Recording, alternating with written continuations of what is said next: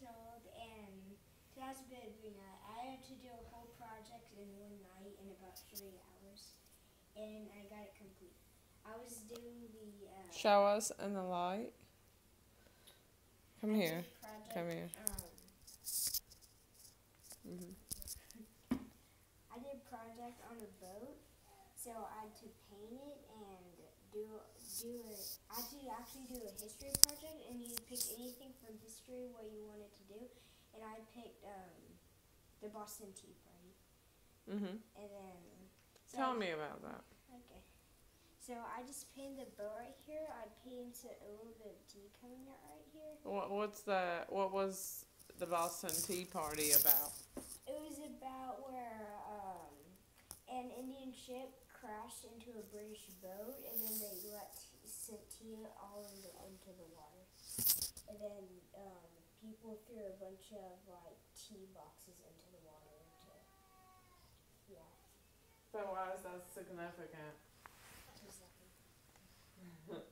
Okay, so go on into your project. Anywho, so that's what it is, and um,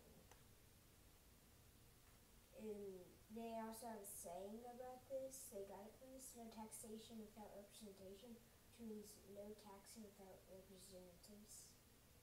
Hmm. And that's really all. Let me see it. I mean, Hold it, hold it from the top and then get the paint. You have to hold it. This. like. Okay, I have to hold it like. And you can hold it back. Okay. Good job. What CD did you use? I used a blank CD. Okay. Are you proud of it? Hmm?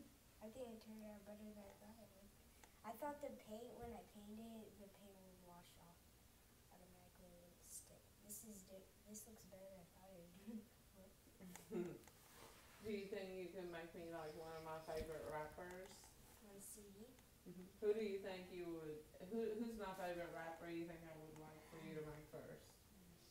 Um, yeah, a lot, but I don't know which one's your favorite. But like, out of all the rappers I like and I know, which one would I like the best? Well, today we're listening to Bob Marley, so I might do a Bob Marley Mm. for my for Christmas. He's not a rap